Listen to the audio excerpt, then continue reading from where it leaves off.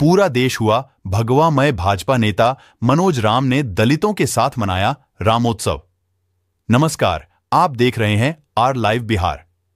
पूरा देश में जश्न का माहौल है। राम भक्तों का 500 वर्षों का लंबा इंतज़ार खत्म हुआ और अब राम लला अपने घर में विराजमान हो चुके हैं। आज पूरे देश में इसका उत्सव मनाया जा रहा है। सिवान में इसका असर साफ़ देखने को मिला। पूरा सिवान भगवामयी हो चुका है। सिवान के ग्रामीण इलाकों में मनोज राम ने रामोत्सव को दलितों के साथ मनाया। दरौली के सभी गाँव और बाजारों को मनोज राम भगवा झंडा से सजा दिए थे। इतना ही नहीं, सभी मंदिरों में मनोज राम ने पूजा पाठ भी कराए और लोगों में प्रसाद का वितरण भी किए। शाम के समय मनोज राम दीप जलाए और सभी मंदिरों को रोशनी से जगमगा